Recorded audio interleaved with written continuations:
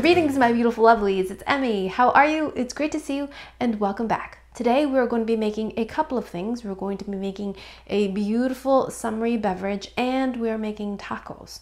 And we're doing this all out of flowers. So more specifically, we're going to be taking hibiscus flowers actually the calyx or the sepals of the hibiscus flower. There are lots of different kinds of hibiscus, and this particular one has this really bright purplish dark red color, and it is often dried and used to make beverages and eaten in different parts of the world. Actually, wide ranging parts of the world. I didn't realize it until I was researching it, but parts of Southeast Asia, in Africa, in Latin America, you can find foods and drinks made from this particular flower. And understandably, it goes by many different names like zobo, rosella, jamaica, jamaica de flor, sorrel. And today's inspiration comes from Latin America and more specifically Mexico. So I'm going to be making a lovely agua fresca, which is a great summery drink. And I'm also going to be making tacos with the cooked flowers. I'm super excited about this. I have made hibiscus tea before, which I love, but I've never made my own agua fresca from these flowers, nor have I ever made tacos from them. So I'm super excited to see what they taste like. Alrighty, so we've got a lot to do. Let's go ahead and get started. So the first thing you're going to need is a source of the hibiscus calyxes, jamaica de flor, and I found these at my local Mexican supermarket, and you're going to need about a cup of them. So into a saucepan, I'm going to add about one cup of dried jamaica. Turn on the heat, add two cups of water. And we're going to bring this to a boil. And then we're going to reduce it to a simmer and let it cook for about five minutes. imagine the longer you let it steep, the more flavor you're going to get out of it. But they're pretty crunchy, can you hear that? But I'm not going to let this steep overnight because I'm going to use the dried calyxes to make a dish. You'll begin to see that it's going to release some beautiful color as it goes. So yes, we'll let that go. Now for the taco filling, we're just going to be seasoning it with a couple things, namely onion. So I'm going to finely chop one whole onion. We're gonna leave some of this raw because it's going to be kind of a finishing garnish for the tacos. And then we're gonna use some of it in the filling as well. Right, I can hear my flowers coming up to a boil. I'm gonna keep calling them flowers even though they're calyxes. Now this is not the first time I've cooked with flowers before. I also, last summer or two summers ago, I made quesadillas using squash blossoms, which were lovely. So, so very, very beautiful and delicious. I'm convinced that part of the pleasure of food and what makes food delicious is how it's presented and how it looks. And if it already looks beautiful, it's already tasting beautiful in your mind. So if you just take a little extra effort just to arrange things a little bit, not too fussy, no need to break out the, you know, forceps and tweezers and stuff. You don't have to go to those lengths, but just, you know, making it look nice and then presenting it. It's another layer of love, you know? What kind of smell is that? It smells kind of like a dried fruit kind of smell not florally in the sense of like rose or anything like that, or lilac, not perfumy. It just smells like a dried fruit. I'm also smelling a lot of onions, so perhaps when I drink it, I can give you a better description. Alrighty, my lovelies, I'm back and my hibiscus flowers have been simmering and they've been resting in the hot water and now I'm ready to strain them. All right, here it is. Looks very dark. I'm gonna pour them into here. Look at that. But upon closer look, it's actually a beautiful red color. So here are the flowers and we're going to reserve them. And now I'm going to cool this off with two more cups of water. Actually, just one cup. I'm going to taste it and see how concentrated it is when we make our drink. Isn't that gorgeous? Look at that color. So to this amount, I'm going to add eighth of a cup of sugar. I'd rather have it not be too sweet and I can always add more sugar to it. Actually, I'm gonna taste it now. Ooh, that's sour. So let's do a full quarter cup. So I'm adding another eighth of a cup. Oh yeah, mmm, That's great. Still on the tart side, which I like. So that was a quarter cup of sugar to one cup of the dried flowers and a total about three or four cups of water. So I've got a few tomatoes here. These are little ones on a vine. And I'm gonna chop about half a cup of them. It's gonna add even more acidity and tomatoey flavor and bright color to it too. So today's taco filling inspiration comes from Fredster and in the description I'll put all of his information in case you don't know him already. Alrighty, so in a saucepan, I'm gonna heat up on medium heat, add a bit of vegetable oil. We're gonna get our half onion going in here. And we're just going to cook those until they're translucent. Next, we're gonna add our Jamaica. We're going to take some scissors and we're going to cut up our sepals a bit so they're a little bit easier to eat. Okay, onions are starting to go. Reduce that down. And these are pretty resilient. They've got a pretty kind of tough feeling to them, but they do look kind of meaty. Look how dark they are.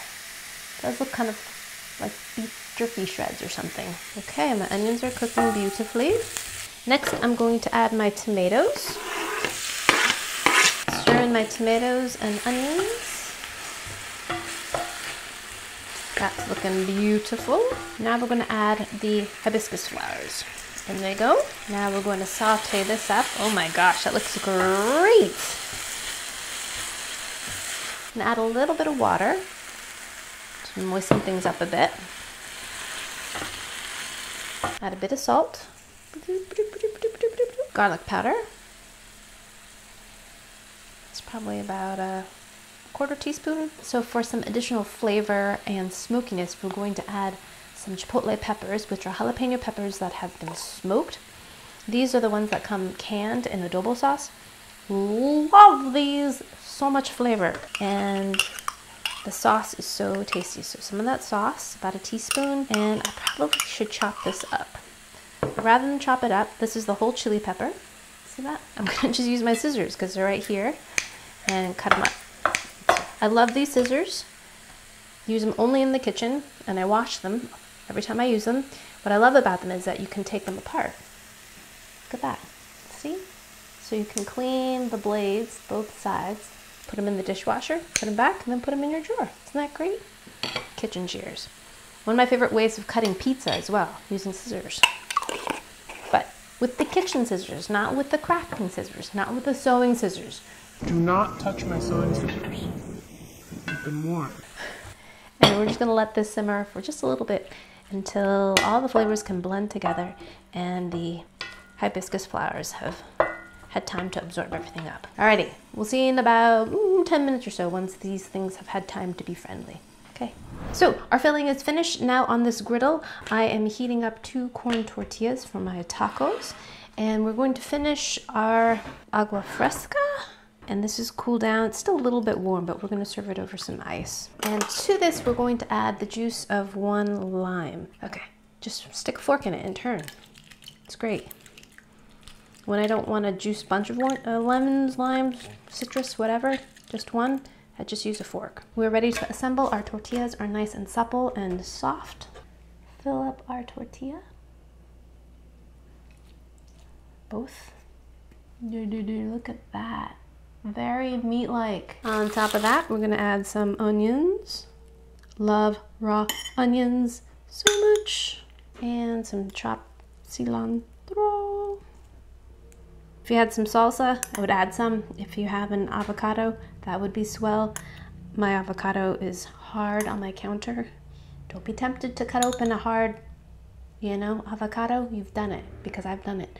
Wishing and hoping that maybe it would turn soft after you cut it. That's it. So I didn't do that. Look at that. Looks beautiful. And I'm going to get a beauty shot of that because that looks gorgeous.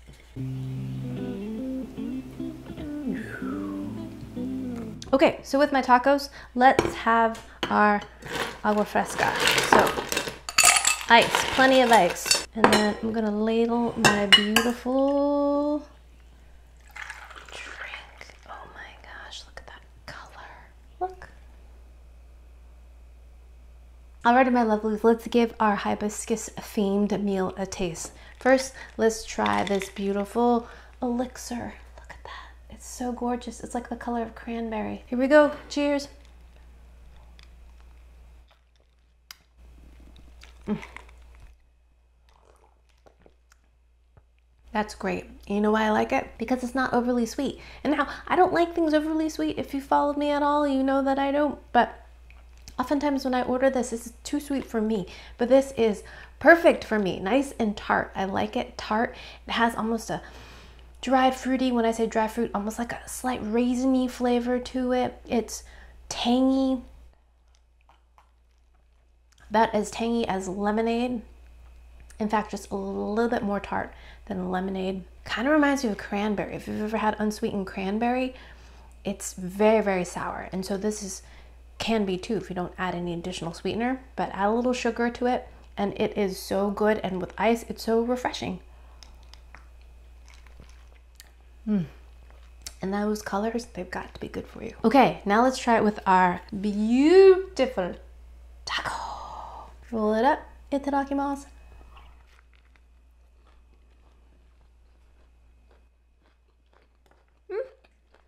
Mmm. Mm-hmm. Mmm. Great. The crunch of the fresh onions and that lovely sulfury flavor combined with the fresh cilantro and that filling is so good. You've got the corn tortilla that holds everything together and gives it a great kind of corny flavor. And then you've got the chipotle and adobo in there. It's so good. It's so smoky and it's spicy. Great. Mm-hmm. Mmm. Love it. Mmm. Mmm paired with that as well. Oh my gosh. Oh, I think this whole meal would go really well with a slice of cold watermelon. And I am not a watermelon person. You can ask my family. Something about this scream summer, a little bit spicy, cool, cool drink, and then like a cold slice of watermelon, I think would be really great. This only thing I think I would add to this would be some sliced fresh avocado then it would be absolutely killer. That would add a nice layer of kind of creamy richness, kind of a foil to like crema or something like that, or some cheese. I think that little bit of smooth fattiness would be a welcome texture and a flavor element too. But alone, they're still stinking, cracking great. I would definitely make these again. Mm-hmm. Fantastic. Alrighty, my lovelies, there you have it. That's how you can transform a flower into a lovely, refreshing drink and a delectable taco. Alright, my lovelies, thanks so much for watching. I hope you enjoyed that one. I hope you learned something. Please share this video with your friends. Follow me on social media, like this video, subscribe, and I shall see you in the next one. Toodaloo, take care, bye! mm.